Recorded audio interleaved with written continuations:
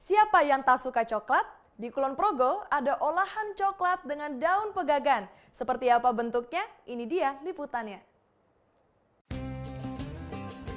Berbentuk unik dan manis, seperti inilah kreasi unik karya Dwi Martuti warga Banjar Harjo, Kalibawang, Kulon Progo.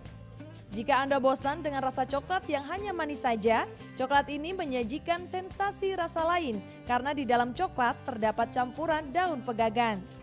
Sebelum dicampur dengan coklat, daun pegagan diolah menjadi serbuk pegagan. Daun pegagan memiliki berbagai kandungan seperti flavonoid, saponin yang baik untuk kesehatan mata, kulit, menurunkan demam, dan membersihkan bekas luka serta berbagai penyakit dalam. Sebenarnya karena emang pasar aja sih yang bikin coklat. Di sini tuh yang unik karena ini mas dikasih daun pegagan. Jadi kan gak cuma makan coklat tapi juga ada bahan-bahan yang uh, bergizi gitu bisa buat kecerdasan juga. Dwi Martuti telah membuat coklat daun pegagan sejak tahun 2013. Produk olahan coklat daun pegagan dijual ke Jakarta, Bali, dan sejumlah kota besar lainnya di Indonesia melalui media sosial.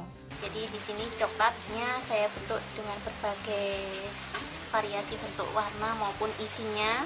Isinya ada mete, keju, pisang, dagan, dan stroberi. Untuk harga satu pak coklat daun pegagan yang berisi empat coklat, Martuti menjualnya dengan harga Rp15.000 saja.